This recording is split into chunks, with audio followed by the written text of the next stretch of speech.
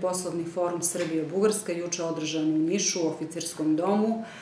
Pored predstavnika grada Pirota bili su i predstavnici iz opštine Dimitrovgrad koji su takođe imali kao i predstavnici iz grada Pirota kratku prezentaciju svoje opštine.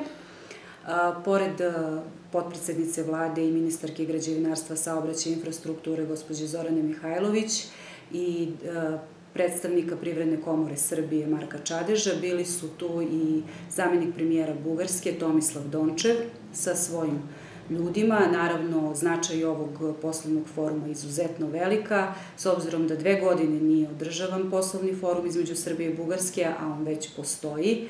Ovo je bila prava prilika, s obzirom da je bilo 130 kompanije, od toga 90 iz Srbije, 40 iz Bugarske, preko 200 privrednika, to je izuzetan broj i veliko interesovanje za događaj koji je i bio. S obzirom da je gospodin Marko Čadež iznao podatak da je u 2017. godini trgovinski promet između naše dve zemlje bio 1 milijarda evra.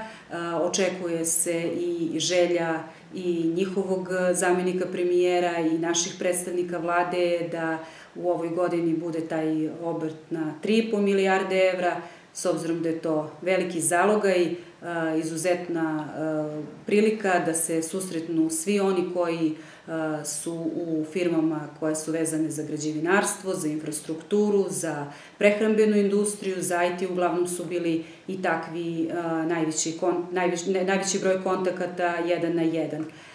S obzirom da imamo završetak koridora 10, koji je planiran za kraj ove godine, veoma bitna saobraćajnica i bitna konekcija sa Bugarskom, s obzirom da smo mi rubni okrug.